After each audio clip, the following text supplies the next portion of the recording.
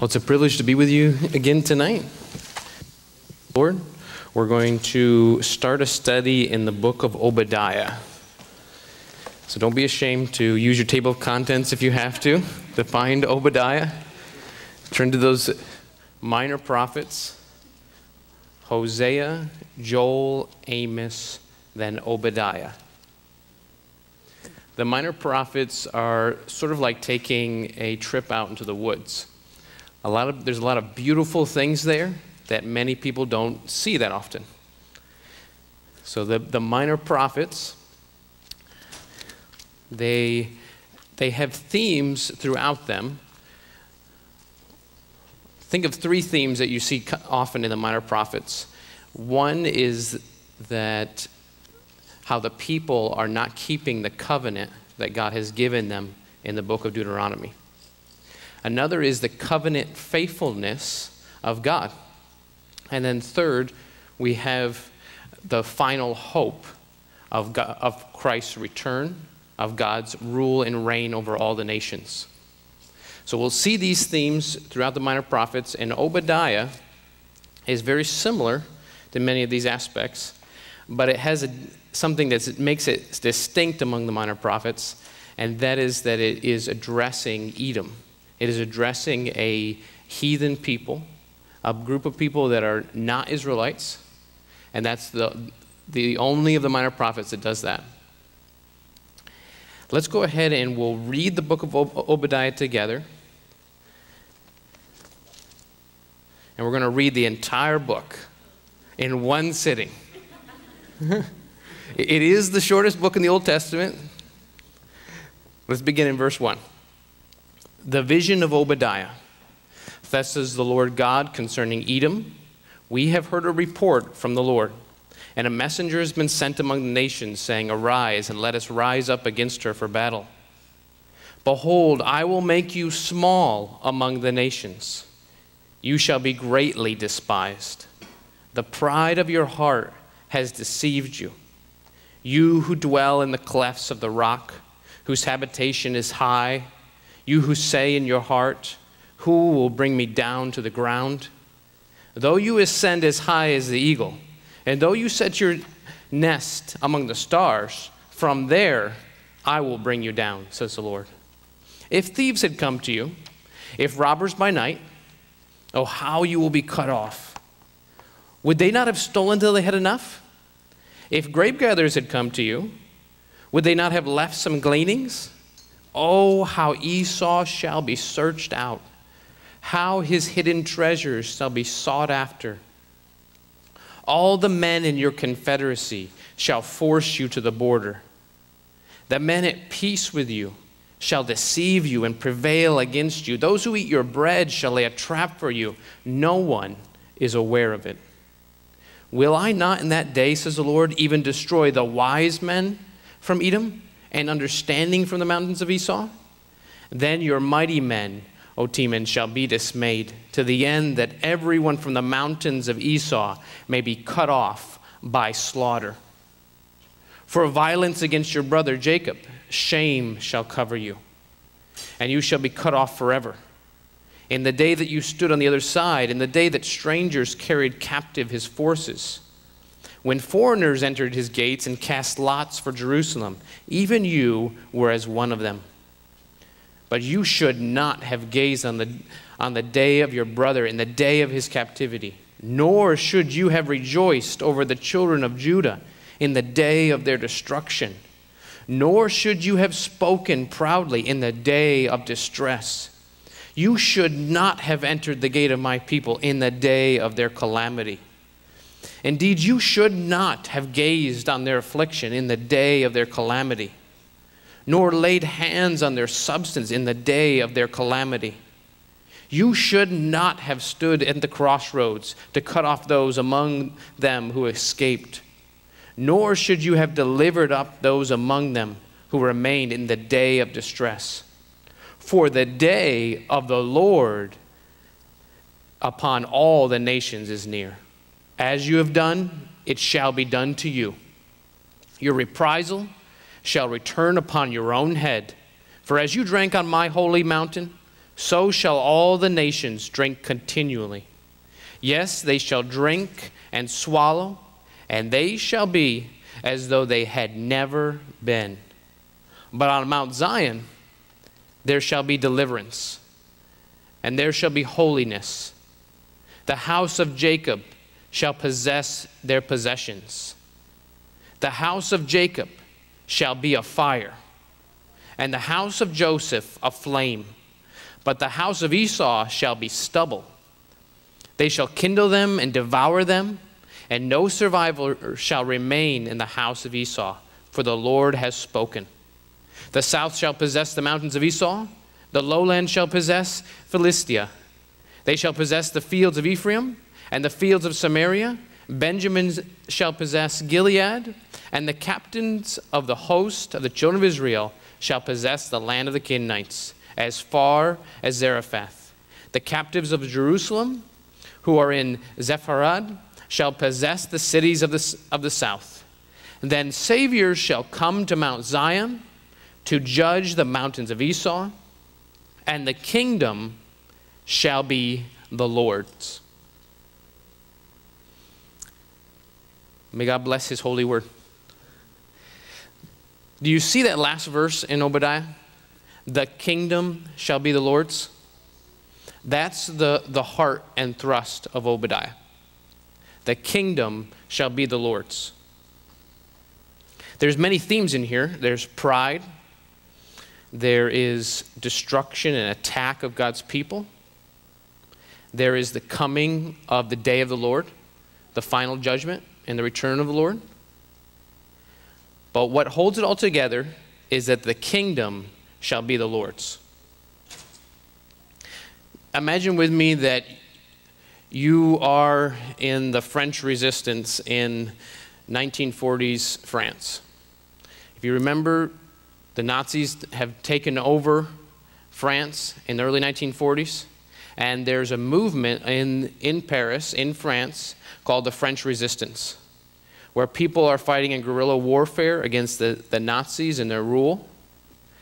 And imagine with me that you're part of that resistance. And you've been fighting with a, your friend, say we pick a French name like Jean. You're fighting with, with Jean, Jean, and you meet with your group of the resistance 10, 12 people. You, after a year or two of bloodshed, you go back to the, the hideout one time, and the Nazis have discovered it. And in the end, you find that it's Jean who sold you out. The one who you ate bread with, the one who you fought with, the one who uh, you said and vowed together that you'd die together. That one who is near to you has betrayed you, and it's cost you the lives. At that point, when you see your dead friends that your closest person friend has betrayed you, what do you need to hear about? But you need to hear about how D Day is coming. There's an invasion coming from the Allies. And the Allies will come and liberate your country. They will come and your people will be free once again. And all of those who betrayed and turned back will be shamed. This is what happens in this context. The people of Israel have Edom, that is their close allies, even considered a cousin or a brother, because they're descendants from Esau. They even are called Esau many times in the book. Israel and Esau. Jacob and Esau, brothers, descendants. And in this book, there's an attack on Jerusalem, and it comes because of a betrayal of Edom. So when the people of Israel see Jerusalem in ruins, they see that the betrayal has happened by not just some foreigner, but it's happened by Edom, the close country, the friend. What do they need to hear about? But that the kingdom is the Lord's. Do you feel weary in the battle? Do you feel weary following the Lord. Another betrayal, another lost friend. Well, what you need to hear about is that the kingdom is the Lord's. You need to think about the return of the Lord. You need to think about how the King of Kings is coming back and he will set all things right. The people of Israel here needed to hear that. They needed to hear that the kingdom is the Lord's. And I think that today we need to hear the same. We need to hear that the kingdom is the Lord's and his rule and reign over this world is coming. And it gives us great hope and great perseverance, great joy. So let's consider, I'm going to give you some more of a teaching now time, give you some background about Obadiah, Edom, and the Lord, okay? Then, God willing, we'll get into some of the judgment, pride, and fall. If you have the outline that's in the bulletin, that, that will help you follow along. So, first, I'm going to cover some of the background of the book of Obadiah. Okay, so first, who's Obadiah? There's approximately 12 Obadiahs in the Bible. And nobody really knows anything about this Obadiah.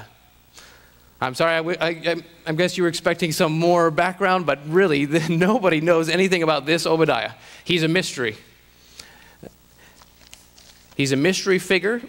We know that he gives his prophecy to those who are in Judah. And we know that in the very, very first verse, it's called the, the Vision of Obadiah. And what's also a mystery is the time in which he writes. The time in which he writes. There's, we can make some estimated guesses, but the commentaries are all in agreement that no one knows for sure when this book is written. Let me run you through some of those different options very quickly. There's five different major attacks on Jerusalem. So we know from Obadiah that it's, a, it's in the time of a major attack on Jerusalem. There is the time of 925 BC where Shishak, king of Egypt, in the reign of Rehoboam, comes in to attack Jerusalem. There's the time in Second Chronicles 21 where the Philistines and the Arabians come in during the reign of Jehoram. And that's in 841 BC. There's a time in 790 BC when Jeho- um, Jehoash, king of Israel, comes in and attacks Jerusalem. There's the time in 735 BC when Edom and, and Philistia come in during the reign of Ahaz. And there's also the time of Nebuchadnezzar in 586. That's the one most people know the time of the ba- Babylonian captivity considering the context in Obadiah, where the, what happens with the people in Jerusalem, it, you can narrow it down to either two of those dates. It's either 841 or 586. To give you an idea of each of those times, let's turn and look at Second Chronicles 21. We'll see the earlier date, the possibility that this is in the reign of Jehoram. Second Chronicles 21.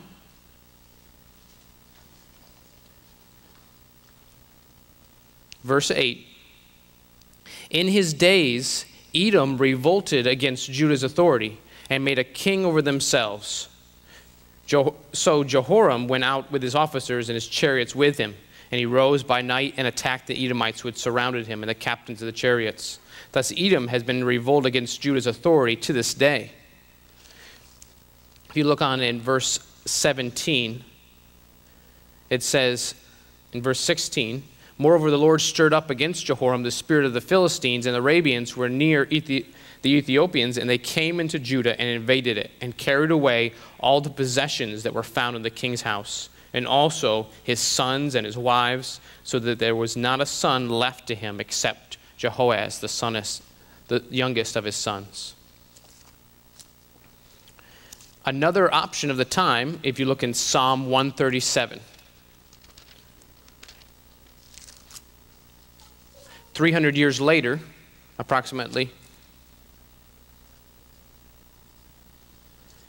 Psalm 137 is about after the Babylonian captivity.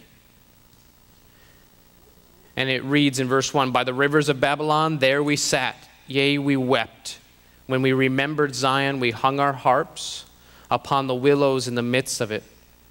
For there are those who carried away captive asked of us a song, and those who plundered us requested mirth, saying, Sing one of us the songs of Zion. How shall we sing the Lord's song in a foreign land? If we forget you, O Jerusalem, let my right hand forget its skill. If I do not remember you, let my tongue cling to the roof of my mouth. If I do not exalt Jerusalem above my chief joy. Remember, O Lord, against the sons of Edom, the day of Jerusalem, who said, Raze it, raze it to its very foundation. O daughter of Babylon, who are you to be destroyed? Happy the one who repays you as you have served us. Happy the one who takes and dashes your little ones against the rock. You can see from this psalm the people of Israel crying out to the Lord for justice. And what does Edom do? But they, they come in and they say, Raze it, raze it to its, its very foundation. Destroy, destroy Jerusalem. So I'm, I'm hoping that you can see some of the history of Edom and versus Israel. It's a long family feud that has gone on, and it started back in Genesis 25 when two nations are in the womb of, of Rachel, I'm sorry, of um, Rebecca. And it goes on when the people of Israel try to get passage through Edom that they're denied passage. Edomites oppose the king of Saul. Edomites are subdued by David in 2 Samuel, 9, 2 Samuel 8. They're sub, the Edomites are subjected by Solomon in 1 Kings 11. They fight against Jehoshaphat in 1 Kings 22. They rebel against Jehoram in 2 Kings 8. They're conquered by Amaziah in 2 Kings 14. They rebel against Ahaz. They're controlled by Assyria and Babylon. There's a long history of Edom versus Israel. In the fourth century, the Edomites are forced out by the people called the Nabateans. They're forced to move to southern Palestine, where they become known as the Idumeans. And there's one famous Idumean who you know, and his name is Herod. So the battle of Edom versus Israel goes all the way down to Herod, where he tries to destroy the Messiah. This is a long family feud. And here, in the book of Obadiah, it is a declaration of God against the Edomites. It's a dec- declaration of a death sentence. He doesn't plead for the Edomites. Instead, he says you're going to be wiped out within time. And now, in the time of AD 70, since that time, and that destruction of Jerusalem, there ha- we have not heard of any Edomites. They have been wiped off the, the face of the earth. God's word it has been fulfilled. So there's the background of Obadiah, Edom, and the Lord. Let's try and get into verse 1 before we close tonight.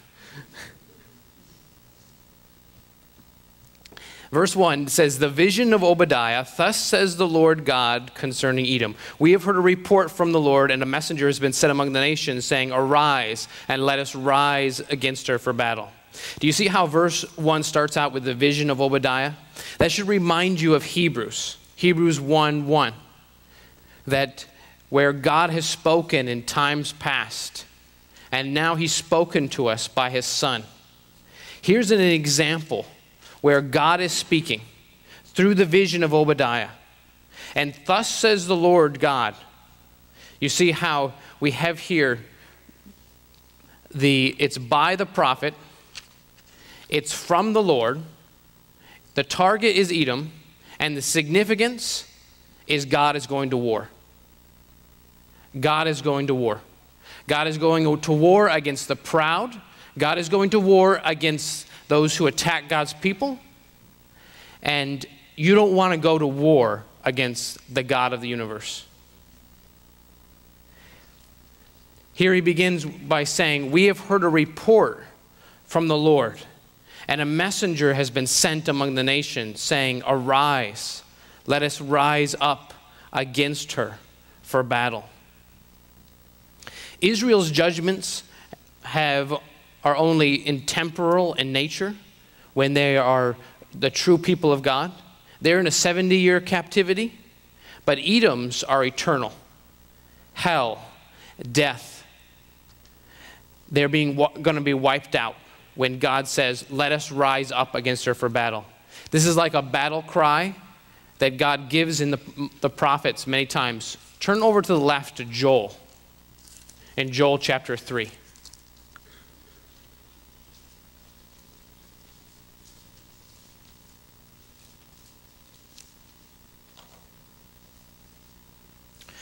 Joel chapter 3, verse 9 to 13. Proclaim this among the nations, prepare for war, wake up the mighty men, let all the men of war draw near. Let them come up, beat your plowshares into swords and your pruning hooks into spears. Let the weak say, I am strong. Assemble and come, all you nations, and gather together all around. Cause your mighty ones to go down there, O Lord. Let the nations be awakened and come up to the valley of Jehoshaphat. Jehoshaphat. For there I will sit to judge all the surrounding nations. Put in the sickle, for the harvest is ripe. Come, go down, for the winepress is full, the vats overflown, for their wickedness is great.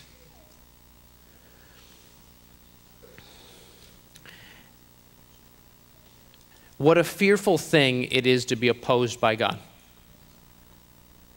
Do you know who God opposes? God opposes the proud. God opposes the proud. Think with me tonight about how you have pride in you. You have pride in you, and you got to battle it every day. It rises up and leads, the fruit, it leads to fruit in your life of evil fruit. Pride says to God, that I deserve worship and not you. Pride says to God, pushes God off his throne and says, I'll sit on it. The judgment of God comes against Edom because of their pride. Their pride and their pride leads them to destroy and attack God's people. Does God have enemies? Yes. His enemies are the proud. So, would you want to be one of God's enemies? Would you want to be a proud person? God opposes the proud. He declares war against the proud. He will humble all the proud. Either you must humble yourself now before the cross of Christ, before God Almighty, or you will be humbled on Judgment Day like Edom.